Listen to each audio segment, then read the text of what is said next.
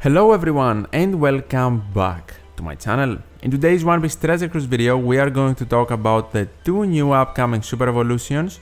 We have Super Type Sabo and also Uta getting a Super Evolution. I won't show the full Uta artwork simply because it is essentially spoilers for the One Piece film Red movie and many people haven't seen it yet. If you want to know how to Super Evolve both of those units though, for Uta you need to clear Kizuna 20 times and you will get 5 of your Super Evolution Skulls. And for Sabo, his Skulls will be available through the Kizuna reward boxes, so you need to gather tickets to of course get all of his Skulls. So both units need 5 Skulls to Super Evolve and those will be available through the upcoming Kizuna vs Shanks. Let's now talk about their abilities and see the differences between their 6 star and 6 plus forms. Let's begin with Uta, the more recent unit, her new captain ability now reduces own cooldown by 4 at the start of the quest, that remains the same, boosts in driven and powerhouse attack by 5.25 times and HP by 1.3, so the units that are boosted change. The 6 star form has int, striker and cerebral, now we get driven and powerhouse instead. So this is a side grade not a direct upgrade for Uta. If the special has been launched this turn, boosts in Driven Powerhouse by 5.5 times instead, and if there is only one enemy at the start of the cruise attack or when moving between each stage in a fight, it reduces damage taken by 40%. Immediately we can see the big difference in the latter part of the special, where we have no paralysis or special reverse reduction, we have damage reduction instead under a different condition and the maximum possible attack boost is also 5.5 times, not just a constant 5.25 times, but losing the utility to remove paralysis and special reverse is pretty big, so I'm not so certain. We also need to check out the captain ability to judge this super evolution. So far, not a big fan. For the special ability we have tons of text. Lance's turn progress activated effect for 3 turns. Okay, so like the normal one. In each turn, Uta will apply the following effect. Turn 1, 2.5 times Orb Boost and 2.25 times Affinity for Driven and Powerhouse. So this changes as well.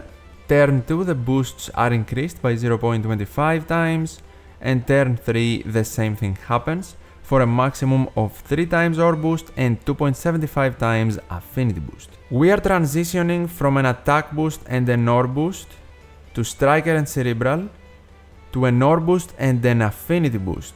This is definitely worse because in my opinion an attack boost is way more important in majority of quests than a color affinity boost.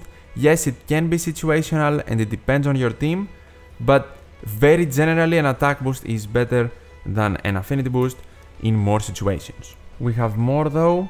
It says that when this effect is active, reduce cruise HP by 70% at the start of the turn so for 3 turns we get a 70% HP cut on our team, not the best. If cruise HP is below 70% of their max HP, removes the effect and applies bind to self for 5 turns. So even though this effect kind of seems worse because we have affinity instead of attack boost, it restricts Uta more. Okay, if the special effect is removed by the enemy, boosts Driven and Powerhouse by 2.75 times Orb Boost and Affinity Boost by 2.5 times. And for the final part of the essay, if crew launches the same special effect while this effect is active, reduces crew's HP by 30 instead of 70, lowers the effect of HP condition to below 30% for effect removal, additionally extends the duration of attack up by 2 turns, locks slots for 2 turns, and boosts chain by 1.443 turns. So either A, I am understanding this wrong, or B, this is kind of an inconvenience and pretty restrictive because if I don't have the double launch, then essentially I will remove my own unique effect halfway there before I get the maximum boosting. I will also reduce my HP by a lot and bind Uta for 5 turns. Even if you do have the double launch, do you really want to super evolve a great unit to this? I'm not so certain, so have it in mind if you have 6 star Uta, do not super evolve here immediately and you do not have a dupe of course. If you have a dupe, you do not care, you can have both versions. Which versions by the way do not seem to work together.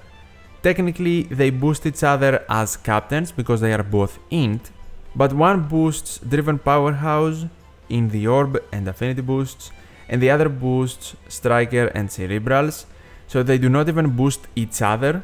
And if we take into account that both unique effects are the pink node buff we get from Uta, and you can activate, for example, the 6 star version first and the 6 plus version second, they still don't synergize well, and of course they have different super classes, one is for Cerebral, the other is for Driven, so not even that synergizes well.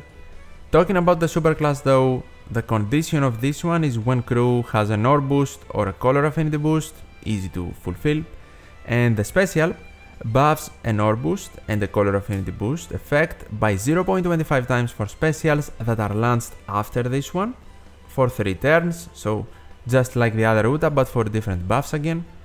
And then changes top and bottom row slots into matching while also making driven class superclass. You can get matching slots with this version of UTAP, so you can lock them and carry them over, but that needs the double launch once again. For first impressions, this unit relies way too much on the double launch of the special, because otherwise it's not as effective and very restrictive or even annoying to team build with. And she also needs 5 skulls, not 1, so it's not like the Yamato situation where you could super evolve and then unevolve again and super evolve again if you had one copy. Here you pretty much need to commit to super evolving Uta and not only that, but essentially you get an amazing unit, you super evolve here and now she's way more restrictive and annoying and you need the double launch of her specials in order for her to work. If you use her as friend captain, she's not gonna be as effective as if you use the 6 star Uta as friend captain and you have another captain as your own. I don't know if I'm the only one, but I think this is pretty lackluster. Let's say I have one Uta. Why would I give up my paralysis and special reverse utility in my captain ability for damage reduction? Yes, damage reduction can be useful, but not in more situations than paralysis and slash or special reverse removal. Then, Striker, Cerebral, Attack Boost and Orb Boost is probably better than Driven Powerhouse, Color Affinity and Orb Boost. Yes, in the Captain ability, the maximum attack boost I can get is 0.25 times more, but who cares, honestly? Then the big one, with my 6 star Uta, I do not have to worry about me cancelling my own special and then suffering the consequences why would I super evolve here and all of a sudden be binded if I don't have double Uta and I want to use another captain? And even if we do have the double launch, if I have the double launch with my 6 star Uta, I get a guaranteed full board of matching slots. Here I need the special and the super class to not even get a full board of matching slots. And I am cutting my own HP, which of course makes it worse for me to survive hence why the damage reduction in my opinion becomes worse in this unit. If you had damage reduction in general, that's fine, but the only reason you have damage reduction is because you are depleting my own HP.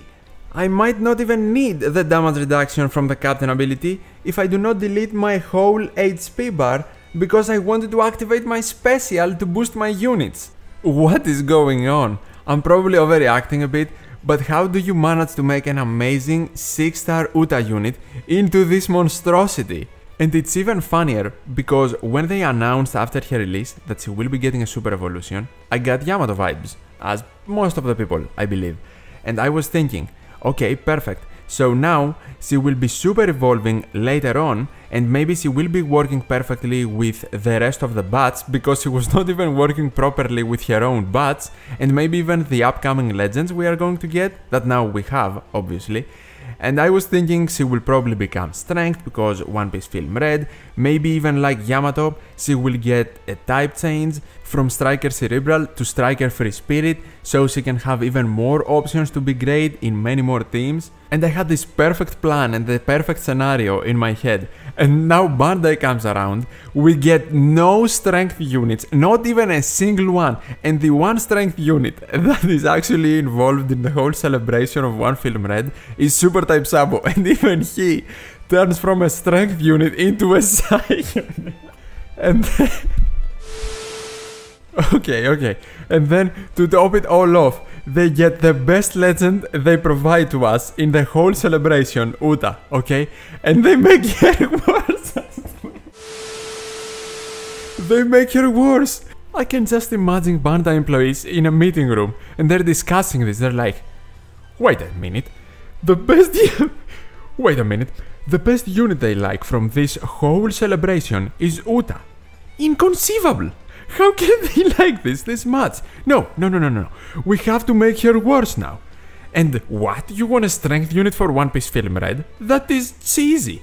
Take a strength unit. Yes, John, you. Decide on a strength unit. We are going to make it Psy. Dude, not even Oda can write this. This is incredible.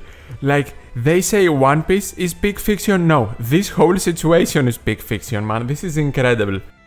Oh my god, dude, I hope you guys enjoyed this little whole stand-up comedy bit, whatever it was, because I have laughed so much. I know we have derailed from the whole purpose of the whole video, but what is going on with this One Piece Film Red celebration? I just love the fact that we have been begging for someone to be strength, but we have seen every other color except strength. Okay, time for the game phase to be back on. We are going to talk about Sabo now, the unit that will be actually transitioning from strength to Psy.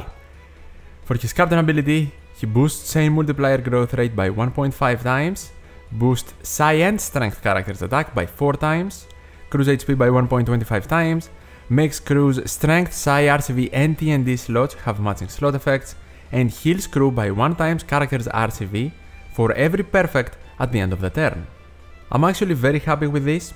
His boosting essentially remains the same at 4 times and also the growth rate of the chain at 1.5 times, but he makes 4 different slots matching in Strength Psy, RCV and TND and now boosts 2 different colors, Strength and Psy, not only one. His healing is also doubled now at the end of the turn, everything else remains the same, but a pretty nice change in my opinion for his captain ability, simple yet effective. For his special, he reduces all enemies' HP by 10% and boosts color affinity for Psy and strength characters by 2.25 times for one turn, and if the crew lands 3 perfect strikes in this turn, boosts color affinity for Psy and strength characters by 2.25 times again for the next turn. He also boosts the chain multiplier by 1.1 for one turn after one turn. For his special we see the HP cut being added, he was not doing that. And also the type effect boost is now more and for Psy on top of strength. It was double, it is now 2.25 times and the chain boost from plus 1 is now plus 1.1. Nice and he has level limit break updates for both the captain and the special ability. So to really quickly talk about these, for his captain ability he gets 0.25 times more of an attack boost and then for his special ability, what he does is that the chain multiplier goes to plus 1.3 times and the color affinity in the second stage if you hit the perfects, then it goes to 2.5 times instead of 2.25. Not huge differences, but in quests you want to do lots of damage, they can definitely help. For his super type, the condition now has more characters available, I'm pretty certain. Luffy, Ace, Koala, Rebecca, Ivankov, Inazuma, Lindbergh, Belo, Betty, Karasu, Morley and Kuma. Definitely more people here because the Revolutionary Army members except Koala were not there. And his special applies ignited status to all enemies for 2 turns, nice. Boosts chain multiplier by 1.25 times for 1 turn, adds 150 times character's attack in non-type damage on top of tap timing bonuses for 1 turn, and changes Psy into Super Psy of course. Here we do have the ignited status being applied to the enemy as a change that was not here that can definitely help versus Ace if they work together in the same team. And then the chain multiplier boost remains the exact same and the tap timing bonus is increased from 100 times to 150. Overall, I think Sabo definitely has a very nice side grade Super Evolution because now the strength version does not become obsolete. Do not forget, he's a color affinity booster. And now that he has both strength and psi in his colors, if you are against dex content, even though the color affinity is a bit less, you probably still want to use the strength version because he also has color advantage himself. With the Psi version Super Evolution, he might give you more boosting essentially, but it's not a huge difference and at the same time you lose the color advantage from Sabo because he is now Psi, not Strength. On top of that, if you want to use him as captain, he gives you two different super types, so more damage for two different colors. We have options and that is great. Time for the classic voting poll now. We are going to have two this time because we get two super evolutions. The first link in the pinned comment is for 6 plus Uta. Click the link there and tell me if you think Uta is a good super evolution or not. And then the second link in the pinned comment is for 6 plus super type Sabo. Tell me if you think he is a good super evolution or not. And as always, if you enjoyed this video, leave a like, I would really appreciate it, and subscribe to the channel for more One Piece Treasure Cruise content. Thank you so much for watching, take care, and I'll see you in the next one.